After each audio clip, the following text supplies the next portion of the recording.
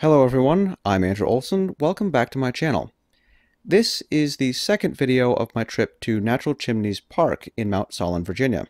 The park itself features an RV campground, a public swimming pool, hiking trails, picnic areas, a pavilion for concerts and other celebratory activities, as well as the natural limestone structures that make up the chimneys themselves.